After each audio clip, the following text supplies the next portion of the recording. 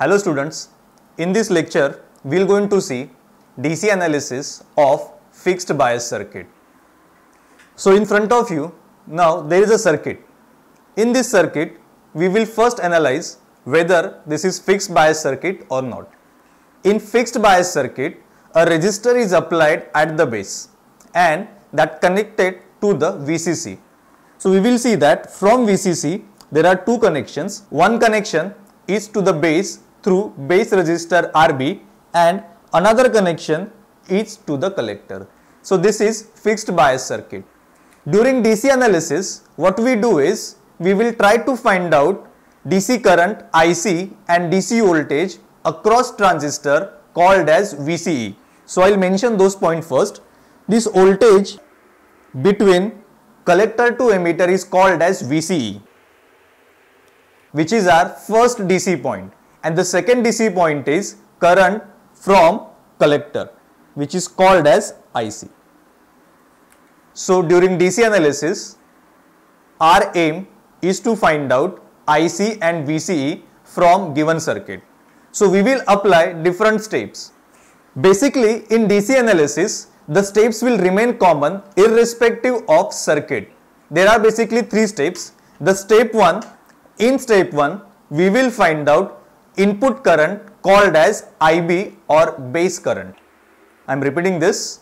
In step 1 we will find out input current IB. In step 2 we will find out collector current or output current IC and in step 3 we will find out voltage across transistor called as VCE. So there are basically three steps. Step 1 to get IB, step 2 to get IC and step 3 to get VCE. So I'll apply that. Step 1 to find IB. Now as our steps are remaining same, similarly methods to find out IB, IC and VCE will remain same. In step 1, we will apply KVL to the input. In step 2, we will find out IC with the help of beta and input current. Whereas in step 3, we will apply KVL to the output. So, as we are in the step 1 and we are finding out IB, we will apply KVL to input that is base to emitter. Are you getting this point students? What we are doing is we are trying to find out base current IB. The base current IB will be from this loop which is nothing but our input and hence I am applying KVL to the input. Let's apply the KVL to the input. KVL will start from VCC, will go from RB and here it will have some voltage called as base to emitter voltage VBE. Now we will apply KVL. First point is VCC. Next is IB into RB. Next is VB is equal to 0. Now we will take IB on other side so that IB into RB is equal to VCC minus VB and hence IB is equal to VCC minus VBE divided by RB. This is how from first step we have got input current IB. In step 2,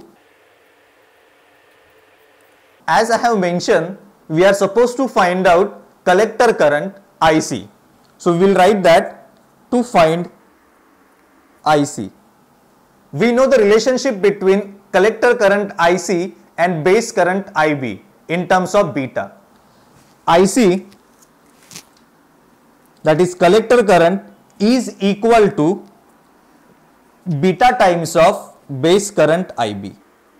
From this equation we will get collector current IC.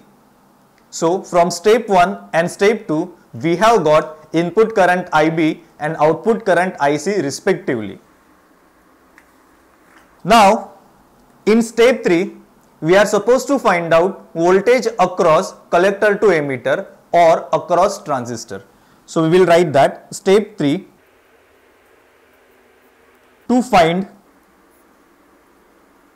VCE for which we are going to apply KVL to output loop. So we will write that apply KVL to output. In our case, output is from collector to emitter. Now apply the KVL.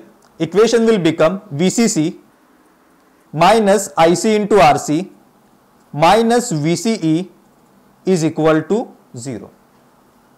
Let me show that. Now see here students. Output is from collector to emitter where we are applying KVL. So KVL will start from VCC. The next term will be minus of IC into RC.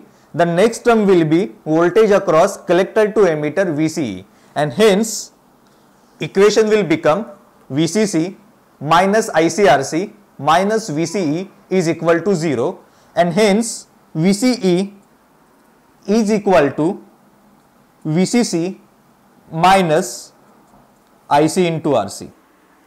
So from step 3 we have got voltage across collector to emitter. So DC point for this particular circuit is Q points equal to VCE comma IC. So by doing this we can easily find out Q point of given circuit. Thank you.